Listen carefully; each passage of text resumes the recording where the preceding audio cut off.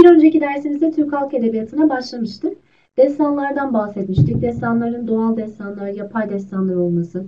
Türk Edebiyatı'ndaki İslamiyet öncesi destanlar ve İslamiyet e, dönemi e, destanlarına başlamıştık. Biliyorsunuz destan özellikle e, mitolojiyle birlikte verilmesi, uzun manzum anlatılar olması, olağanüstülükleri barındırması ve ait olduğu toplumun örf, adet ve kültürüne dair önemli bilgiler vermesi açısından oldukça önemliydi. Destanlardaki tiplere baktığımızda öncelikle 2 3 adda karşımıza çıktığını görüyoruz. Alp tipi, Veli tipi ve Alp Gazi tipi. Alp tipine bakalım. Alp tipinin özellikleri nelerdir? Karşımıza ilk kez İslamiyet öncesindeki Oğuz Kağan destanında çıkar. Bu tip ile gücün insanın elinde olduğu vurgulanmaktadır. Kahraman bir kişilik görünümü arz eder. Medeniyet tarzı genellikle göçe ve kültürü yansıtır çünkü İslamiyet öncesi yaşantıyı ortaya koymaktadır. Alp'te sürü, av ve akın üçlemesi sıkça karşımıza çıkar. Özellikle akın e, onun alp tipinin ideolojisi anlamında oldukça önemli bir kavramdır. Toprağa ve binalara bağlı olarak yaşayan yerleşik medeniyette durgun bir karakter görüldüğü için alp tipi sürüleri ve av hayvanlarıyla daimi bir hareketlilik içerisindedir. Bu yüzden de göçebe hayatın izleri ve hareketliliği alp tipinin üzerinde toplanmıştır. Fizyolojik ve psikolojik bakımından da oldukça güçlü çizilen ve doğada güçlü hayvanlarla bağdaştırılan alp tipi e, özellikle e, kurt gibi, ayı gibi ya da kaplan gibi ya da kartal gibi özellikle e, doğa içerisinde belli yönleriyle fiziksel olarak öne çıkan hayvanlar üzerinden benzetmelerle ortaya konmuştur.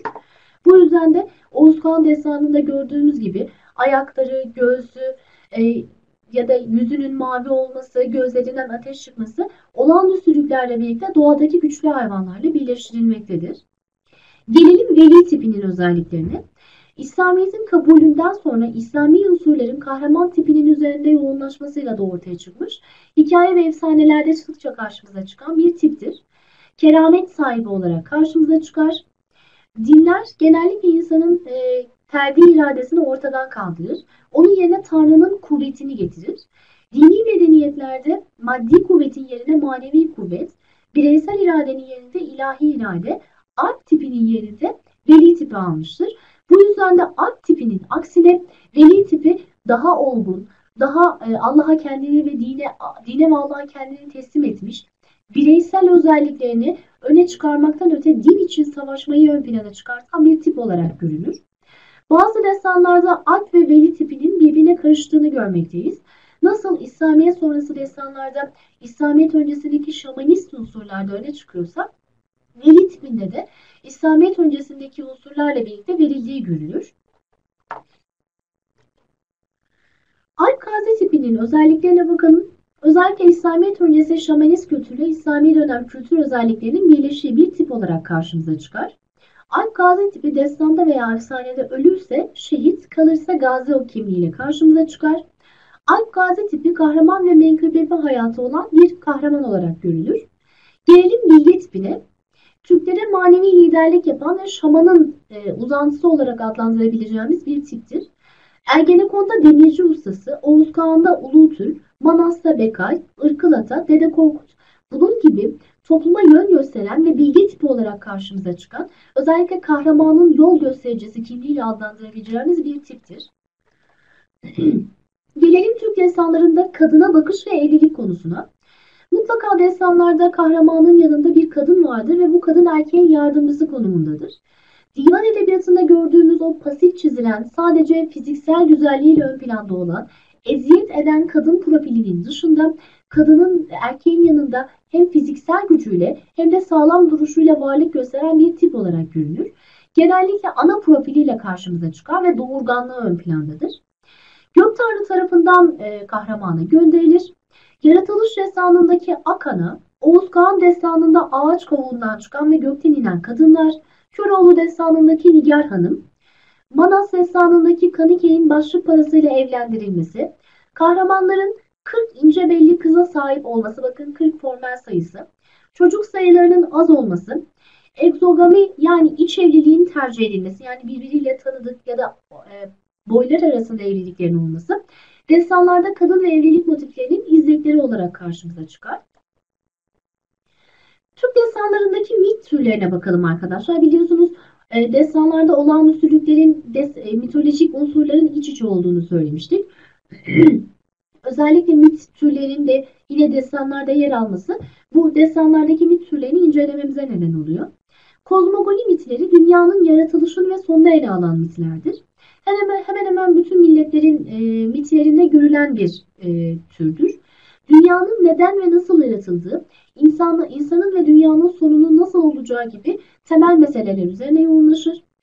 E, bu millet mitlerin ortak noktası ilk yaratılan şeyin su olduğu konusundadır. Bu yüzden de su bu mitlerde bir e, ana merkez noktası olarak kabul edilir. Gelelim geçiş dönemiyle ilgili mitlere. İnsanın hayatıyla ilgili olan mitlerdir. Doğum, ergenlik, evlilik ve ölümle ilgili konuları kapsar.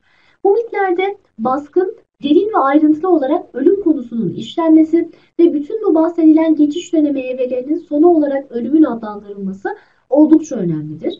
Bu ölüm genellikle kahramanlarda ve destanlarda kahraman tipinin ölmesi, şehit olması ya da yaralanması, gazi olması yine bu ölüm mitiyle bağdaştırılarak verilir. Av ve ziraat mitlerine bakalım. İnsanların uğraşları ile ilgili mitlerdir. Toprak, toprağı işleme, mahsul alma, kutsanan bir sembol sayılan hayvanlarla ilgili mitlerin ele alınması bu türe dahil edilir. Tibet öküzü avı, tavşanın avlanmaması ve hamile kadının tavşanı yememesi, yılanların öldürülmemesi gibi mitler destanlarda sıkça karşımıza çıkan bu tür örneklerdir. Gelelim olağanüstü şahıslarla ilgili mitlere. Olağanüstü özelliklere sahip, insanlık için büyük işler başarmış olan, sıradan bir yaşam sürmeyen kişilerle ilgili olan mitlerdir. Gılgamış Oğuz Kağan, Göksakallı, İlkil Ata, Ulu Türk gibi kahramanlar bu tipe örnek sayılabilir. Gelelim orijin mitleri yani e, temel e, hareket noktası olarak alabileceğimiz mitlerin varlıkların ortaya nasıl çıktığı ile ilgili olan mitlerdir. Daha çok etolojik yani açıklayıcı mit olarak adlandırılırlar. Görevi bir geleneğin, bir adın, bir nesnenin, bir kavramın nasıl doğduğunu, nasıl oluştuğunu sembolik olarak açıklamaktır. Bu yüzden de kökenini araştırır. Gelelim Türk destanlarında yer alan motiflere arkadaşlar. Bu motifler oldukça önemlidir bizim için. Özellikle bu destanlarda e, hem İslamiyet öncesinde hem de İslamiyet sonrasında sıkça karşımıza çıkan bazı motiflerdir bunlar. Bunlardan ilki tabiat kültü yani motifi. Azerbaycan Türklerinin ahir e, çarşamba, Türkiye Türklerinin cemre dediği perşembe günleridir. Biliyorsunuz cemre özellikle havaya, e, toprağa ve suya düştüğünde baharın gelmesiyle de müjdelenir. Bu günümüzde de kullanılan bir ibaredir. Su kültüne bakalım. Kırgız ve Kazak destanlarında su gözelerinin açılmasına dayanır. Su gibi aziz olmak deyimi, sudan çıkan otlar, kızlar, Köroğlu destanındaki gibi aba hayat dediğimiz ölümsüzlük suyu ve köpükler, bade içindesi gibi motifler destanlarda su kültü etrafında şekillenen unsurlardır. Gelelim ateş kültüne, ateş motifine. Ot, ot ve nar sözleriyle kullanılır. Her şey bir ihtiyaçtan doğmuştur ilkesiyle düşünüldüğünde ateşin ortaya çıkışı ile ilgili iki temel görüşle karşılaşırız.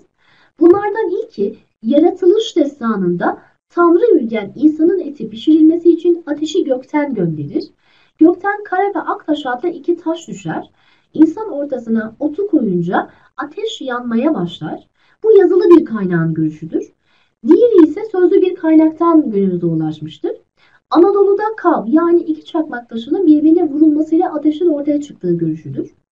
6. yüzyılda Göktürk hükümdarının Bizans hükümdarını kabul ettiğinde onun kötü ruhlardan arınması için ateş çemberinden geçirmesi, tütsüle özellik yakılması, şehit ateşleri, şeytan ateşleri, çoban ateşlerinin olması günümüzde de karşımıza çıkan ateş kültünün kalıntılarıdır.